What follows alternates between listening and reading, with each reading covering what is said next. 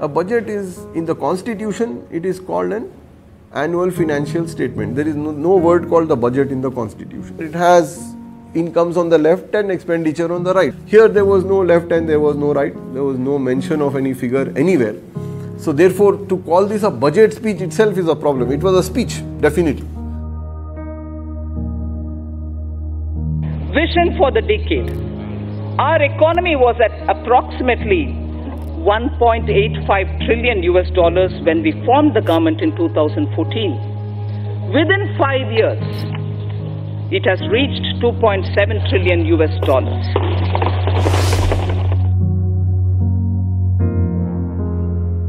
Hence, it is well within our capacity to reach the 5 trillion US dollars in the next few years.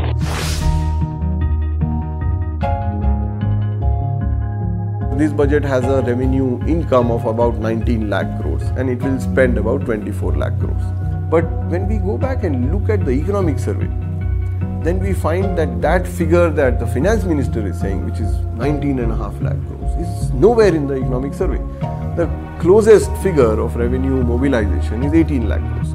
Now that means that we are talking about a shortfall of one and a half lakh crores.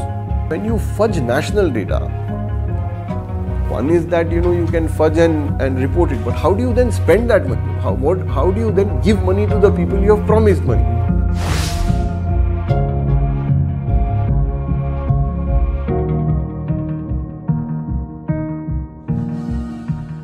There was one new ministry carved out of the Ministry of Agriculture, and that is the Ministry of Dairying and Animal Husbandry. A very state subject, a very I mean, to a lot of us, one of the very minor issues in, in what the country is supposed to be worried about, but a big central ministry now. The budget announced a new ministry, and that was the Jal Shakti ministry, another state subject. Har Ghar Jal to all rural households by 2024 under the Jal Jeevan mission. First 15 minutes of the budget spent entirely on the third state subject, which was a long speech on the farmers.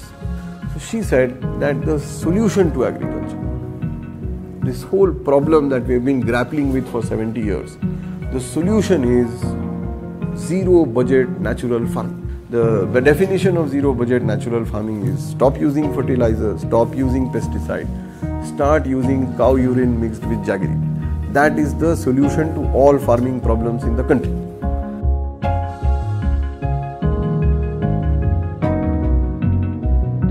We need to replicate this innovative model through which, in a few states, farmers are already being trained in this practice. Steps such as this can help in doubling our farmers' income in time for our 75th year of independence. This country's tradition has been Nari to Narayani. This government wishes to encourage and facilitate the role of women. All of us, edge of our streets, seats waiting to have this huge outlay on women, and there it comes. What does she give for gender empowerment in the country? What she says is that for every woman who is a member of a self help group and has a Jandhan account, we will give each one of them a 5000 rupee loan. For every verified woman SHG member having a Jandhan account, an over overdraft of 5000 shall be allowed.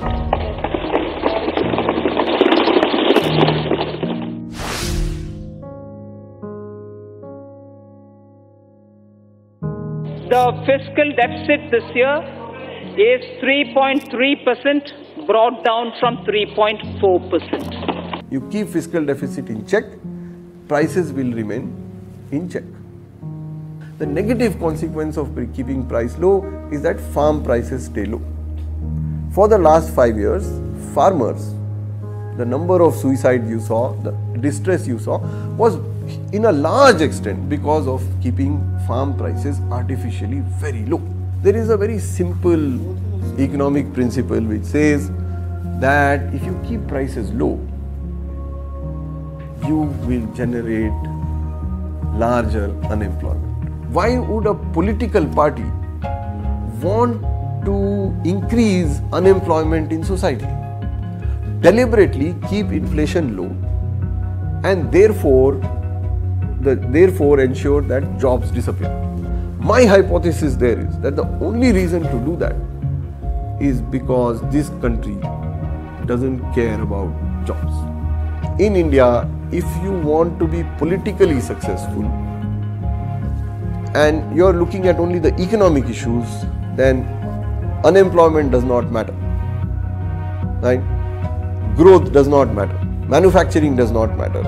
Unorganized sector does not matter. Agriculture does not matter. The only thing that matters is prices.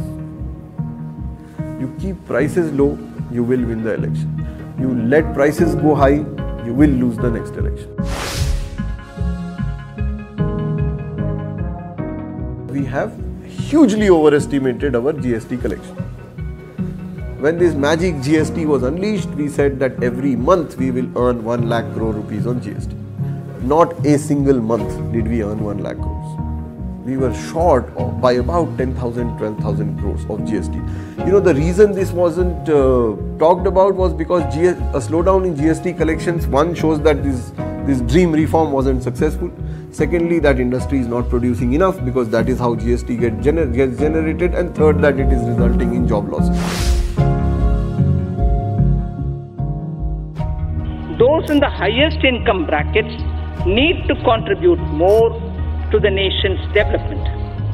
I therefore propose to enhance the surcharge on individuals having taxable income from 2 crore to 5 crores and 5 crore and above so that effective tax rates for these two categories will increase by around 3% and 7% respectively. It is not a 3% of extra tax, it's a 3% surcharge. So you are adding something like 0.2% and 7% surcharge to those who earn more than 5 crores.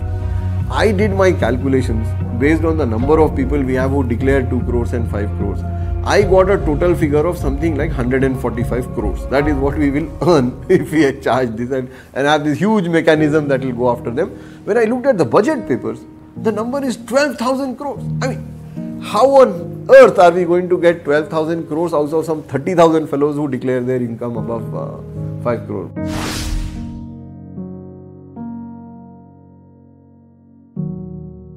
This idea that we had thought we had forgotten in the 80s. You know, import duties were increased. It hasn't happened in 25 years, at least I don't remember. Import duties went up. And import duties go up on what? The first import duty that she announces, which really you know got me speechless, was an import duty on books. I mean, import duty on books. Which country would have that? So there is an import duty on books now. To encourage domestic publishing and printing industry, 5% customs duty is being imposed on imported books. It is also proposed to increase custom duty on gold and other precious metals from 10 to 12.5 percent.